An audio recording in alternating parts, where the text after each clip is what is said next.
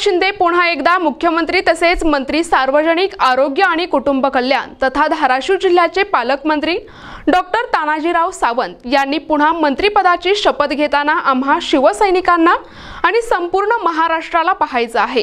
ही सर्वांची प्रार्थना आई तुळजाभवानी चरणी तानाजी सावंत यांचे निकटवर्ती म्हणून ओळखले जाणारे बाळासाहेब तात्या शिंदे यांच्या वतीने करण्यात आली आहे. आईच्या चरणी आपण काय प्रार्थना सध्या महाराष्ट्रामध्ये शिंदे सरकार आहे.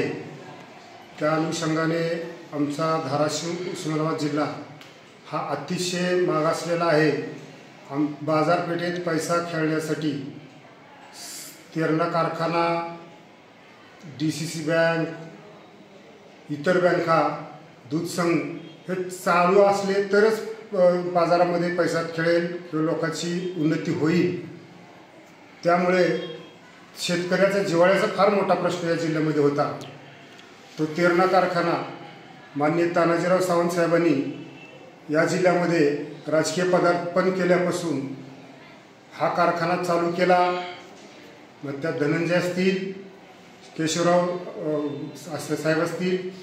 हे लोक आल्यामुळे अहोरात्र कष्ट करतात शेतकऱ्यासाठी काम करतात. म्हणून तुळजाभवानीला मी शेतकऱ्याच्या जिवाळ्याचा प्रश्न तानाजीराव सावंत साहेबांनी सोडवल्यामुळं आई तुळजाभवानीला मी आज साकडं घातलं. की परत त्यांना मंत्रिमंडळात स्थान मिळो. ते विजयी हो. उस्मानाबाद जिल्ह्याची धाराशिवची प्रगती व्हावी ही चरणी प्रार्थना केली.